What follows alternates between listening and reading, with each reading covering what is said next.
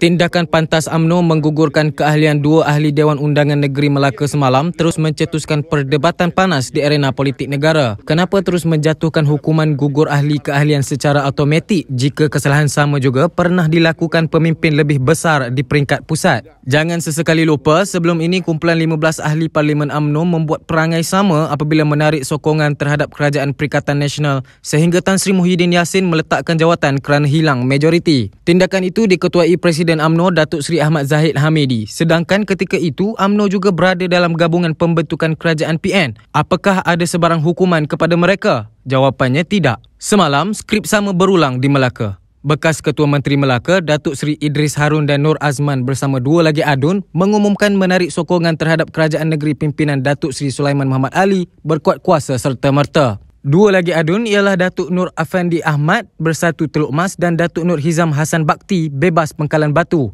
Tindakan mereka itu menyebabkan kerajaan yang dipimpin Barisan Nasional tumbang selepas 18 bulan dibentuk. Pengerusi Badan Perhubungan UMNO Negeri Datuk Seri Abdul Rauf Yusof terus mengumumkan kedua-dua adun itu gugur keahlian UMNO dengan alasan menderhaka. Jika Idris dan Nur Azman terus dihukum, kenapa Zahid dan kumpulan 15 tadi terlepas sebarang tindakan?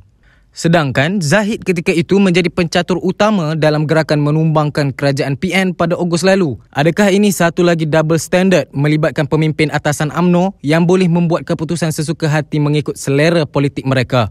Bahkan Zahid yang sudah terbukti bersama dengan Ketua Pembangkang Datuk Seri Anwar Ibrahim dalam merancang komplot juga tidak dikenakan sebarang tindakan disiplin parti.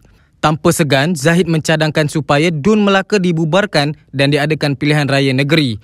Tujuannya untuk menyerahkan kuasa memilih kepada rakyat. Kenapa tidak syorkan perkara sama ketika merampas kuasa daripada Pakatan Harapan dan sekali lagi ketika menjatuhkan kerajaan PN pada Ogos lalu?